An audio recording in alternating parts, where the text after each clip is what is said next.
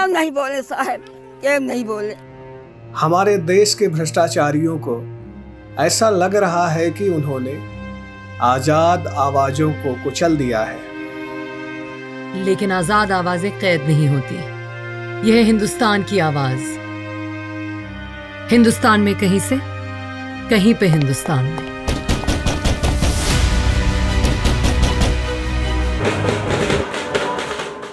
हम भारत के लोग we are the people of India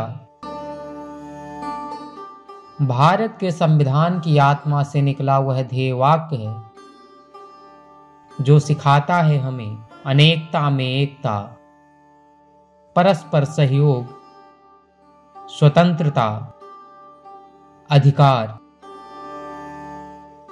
और कर्तव्य।